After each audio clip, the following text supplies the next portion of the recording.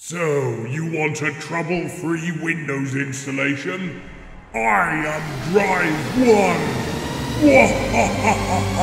1!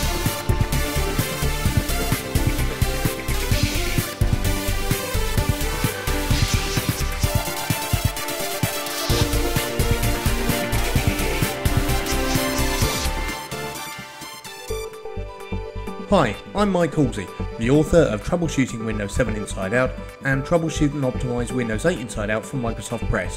And in this video, I'm going to show you how when you install Windows, you can avoid problems occurring with your Windows boot system reserve partitions. And if problems have already occurred, I'm going to show you how you can fix them.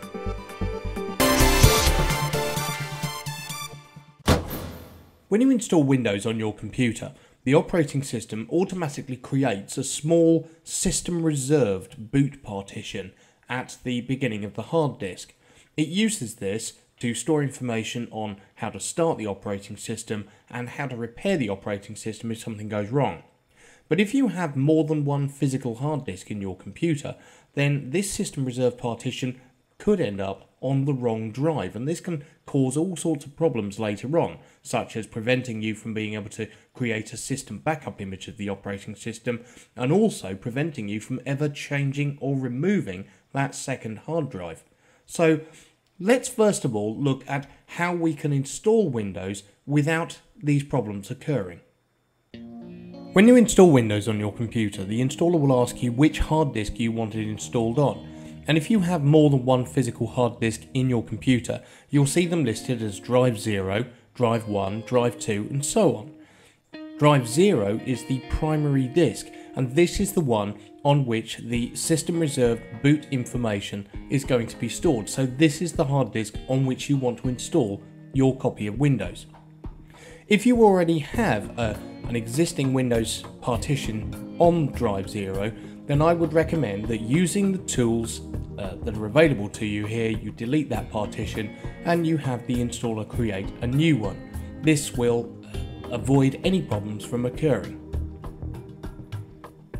If you have a traditional desktop tower PC, now one way you can guarantee that Windows and the system reserve partition end up on the same physical hard disk is to physically unplug all your other hard disks when you install Windows. Now, be careful to be safe when you do this. Make sure that the computer is switched off, disconnected from the mains electricity, and the computer is on a flat, stable surface when you open the case.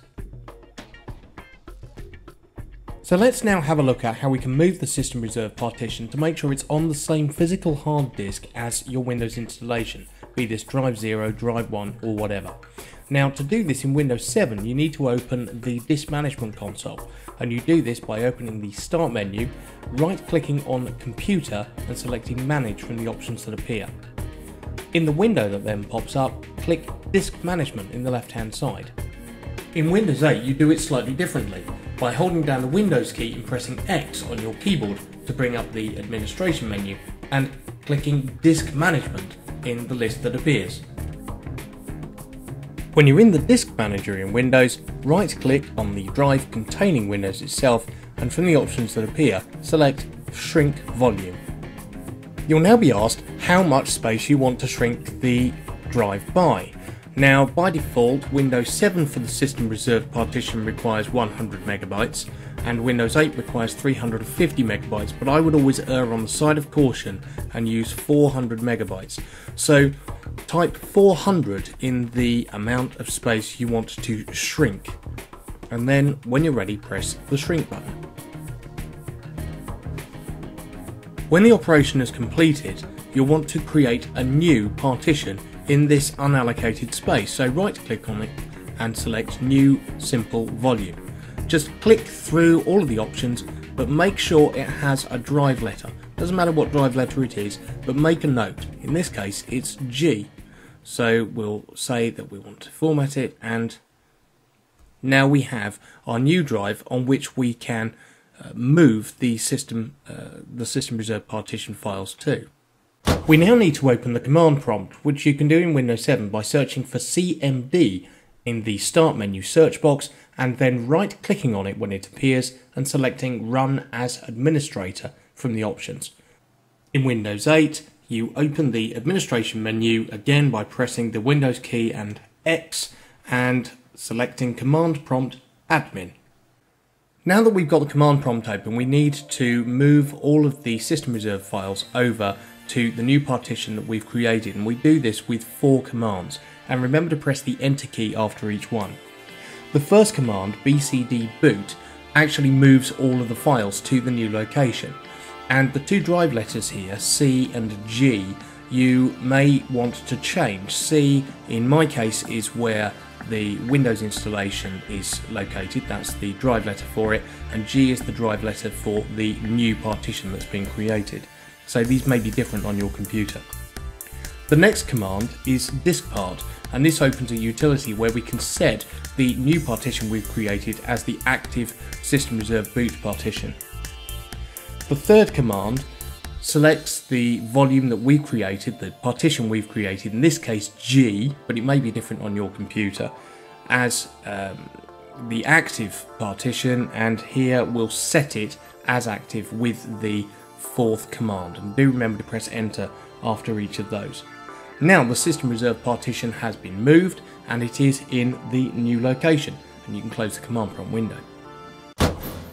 There's now only one thing left to do. We need to go back into the disk management console the same way that you did earlier and right click on the new drive, new partition that we've created.